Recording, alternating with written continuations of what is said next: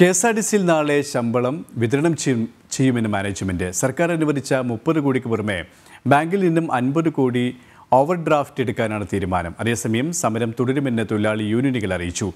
മന്ത്രിക്ക് മുന്നിൽ പരാതി എത്തിയിട്ടില്ലെന്ന് പറയുന്നത് തെറ്റിദ്ധരിപ്പിക്കുന്നതെന്നും മന്ത്രി പച്ചക്കള്ളമാണ് പറയുന്നതെന്നും സി ഐ ടി യു ആരോപിച്ചു. K S R T C ജീവനക്കാരുടെ ശമ്പള വിതരണം ബുധനാഴ്ചയോടെ തുടങ്ങുമെന്നാണ് മാനേജ്മെന്റ് നേരത്തെ അറിയിച്ചിരുന്നത്. സർക്കാർ അനുവദിച്ച മുപ്പത് കോടിക്ക് പുറമെ ബാങ്കിൽ നിന്ന് അൻപത് കോടി ഓവർ ഡ്രാഫ്റ്റ് എടുത്ത് ശമ്പളം നൽകാനാണ് തീരുമാനം.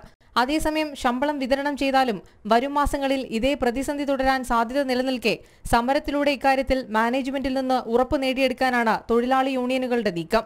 വകുപ്പ് മന്ത്രി കൃത്യമായ ഇടപെടൽ നടത്തുന്നില്ലെന്ന് തൊഴിലാളി യൂണിയനുകൾ വിമർശിച്ചു. ജീവനക്കാരുടെ പരാതി ലഭിച്ചിട്ടില്ലെന്ന് മന്ത്രി പറയുന്നത് പച്ചക്കള്ളമാണെന്നും C I T U organising secretary Santhosh Kumar പറഞ്ഞു. പച്ചക്കള്ളമാണ്. അദ്ദേഹം പച്ചക്കള്ളമാണ്. അദ്ദേഹം ഇനി അദ്ദേഹം സംസ്ഥാന ഗതാഗത മന്ത്രി മാത്രമല്ല ട്രാൻസ്പോർട്ട് വകുപ്പ് മന്ത്രി കൂടെയാണ്.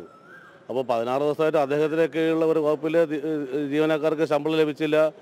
അദ്ദേഹം ഈസ്റ്റർ ആഘോഷിക്കുമ്പോൾ അദ്ദേഹത്തിന്റെ കീഴിലുള്ള ജീവനക്കാർ ഈസ്റ്റർ ആഘോഷിക്കാതെ മാറി നിൽക്കുന്നു വിഷു ആഘോഷിക്കാതെ മാറി നിൽക്കുന്നു എന്ന് പറയുമ്പോൾ ഭരണഘടനാപരമായിട്ട് സത്യപ്രതിജ്ഞ ചെയ്ത് അധികാരത്തിൽ മന്ത്രിയാണല്ലോ. സ്വാഭാവികമായിട്ട് അദ്ദേഹത്തിന് ഇടപെടാമല്ലോ. അതിപ്പോൾ നമ്മൾ ശമ്പളം കിട്ടിയില്ല എന്ന് പറഞ്ഞ് ഏതെങ്കിലും തൊഴിലാളി പോയി പരാതി പറഞ്ഞിട്ട് അദ്ദേഹം ഇടപെടുമെന്നുള്ളത് ഈ എൽ ഡി എഫിന്റെ മന്ത്രിസഭയിൽ ഇരുന്നാണ് അദ്ദേഹത്തിന് പറയാനുള്ള ഒരു ഓർമ്മ അദ്ദേഹത്തിന് ഉണ്ടായിരുന്നാൽ നന്ന- നന്നെന്നാണ് സി എ ടിന് അഭിപ്രായം ഉള്ളത്. തമ്പാനൂർ സെൻട്രൽ ബസ് സ്റ്റാൻഡിൽ A A T U C അനിശ്ചിതകാല സമരം തുടരുകയാണ്. ബി എം എസ് നാളെ മുതൽ സമരം ശക്തമാക്കും. സെക്രട്ടേറിയറ്റ് മുന്നിൽ കോൺഗ്രസ് അനുകൂല സംഘടന ടി ഡി എഫ് പ്രഖ്യാപിച്ച പ്രതിഷേധം നാളെ മുതൽ ആരംഭിക്കും. സമരം കൂടുതൽ ശക്തമാകുമ്പോൾ പ്രതിസന്ധി എങ്ങനെ മറികടക്കുമെന്ന ആശങ്കയിലാണ് കോർപ്പറേഷൻ. ജനം തിരുവനന്തപുരം.